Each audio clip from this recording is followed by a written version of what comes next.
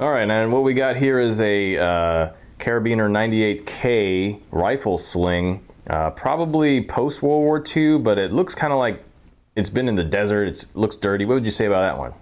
So one thing is I would use to clean it would be your saddle soap and water.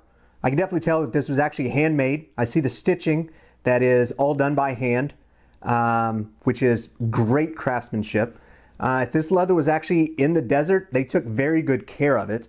Um, I even see some tool marking that's going all the way along this belt, which I'm sure at one time when it was first made, it was gorgeous. A uh, little bit of a little bit of saddle soap and water would definitely help clean this belt.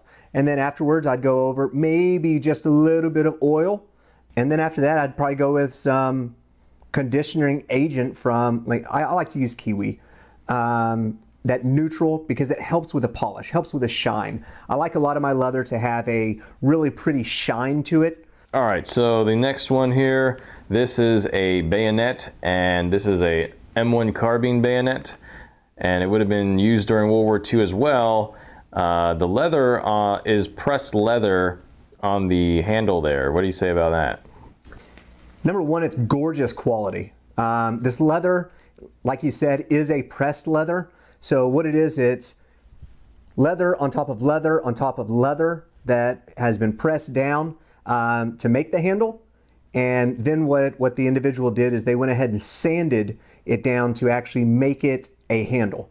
Um, one of the easiest ways to preserve this is number one, to clean it using saddle soap and water.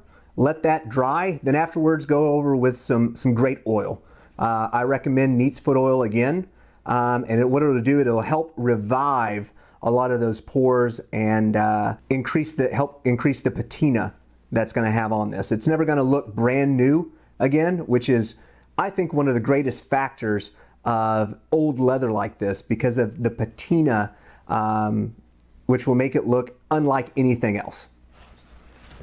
Awesome, awesome. Uh, what can you tell me about this one? This is another uh, Mauser rifle sling, and it looks like it's got some white stuff on there. Yeah, so there's some white stuff on here, um, which is a mold. Um, now I can also tell that these rivets right here are actually brass. The way that I can tell that is because there's a greenish blue um, which is typical when a little bit of water gets on that brass and then the pores, it starts growing that uh, mold on it. Uh, one of the easiest things to go ahead and do to take off the mold would be use saddle soap. Uh, once you let that saddle soap set in with the water, let it dry, let it air dry for a really good time. I'd say in between 24 to 48 hours. Uh, after that's done, uh, go ahead and hit it with a saddle soap again um, and then make sure that it's very well rinsed with the water. So then what I would do is I would use some oil, uh, replenishing agent and conditioning agent all in one, which I go back to Neat's Foot oil. And then after that, I'd probably go with a conditioning agent more like your neutral uh, or shoe polish and then buff it out. Um, do not ever use bleach on leather to try to take off that mold. All right, so here we go. Here's a sling here. And uh, this seems pretty cracked. It's kind of stiff. What do you say about that one? Okay, so with the stiffness on this, a little bit of oil will go a long way. Um, I like to use Neat's Foot oil. Um, it soaks into the pores very well and it'll keep from the cracking. Now, some of these cracks are pretty deep cracks, so one of the best things is just to have the sling, if you're going to be using it, um, just to have it recreated. Um, it definitely looks like it was handmade. Uh, there is some stitching on it that was hand done uh, rather than using a machine, um, which shows the quality is great on it.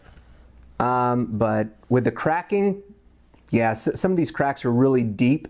I don't think the oil would actually be able to work with that. So with that, um, you definitely wouldn't be using it every day. Um, so one thing that you could easily do um, if you wanted to fix a lot of these cracks is number one, use some Neat's Foot oil, which will help condition this leather and soften up those pores. And then what you can do is you can actually use a, uh, a cement or type of glue. Um, I use Barges glue or Barges cement. And what it, what it will do is when you put it in the cracks, It'll actually help seal them. um, but it won't help with the malleability, but it will help fix those cracks a little bit, especially if you're just going to be using that sling for storage um, on that rifle.